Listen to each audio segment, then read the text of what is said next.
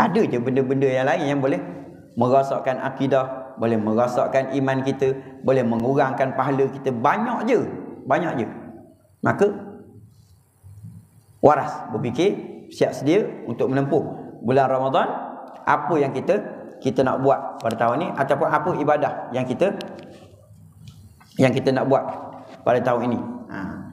Kita tengok uh, bagaimana ibadah kita tahun ni banding tahun uh, tahun lepas.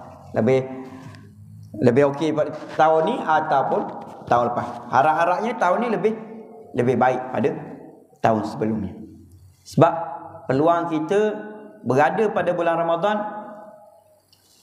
belum tentu tahun depan kita akan ada lagi. Rebut peluang sungguh-sungguh. Rebut peluang sungguh-sungguh bila mana ada peluang kita berada dalam bulan Ramadan. Walaupun dapat sehari, dapat dua hari, rebut sungguh-sungguh. Jangan fikir ah tak apa.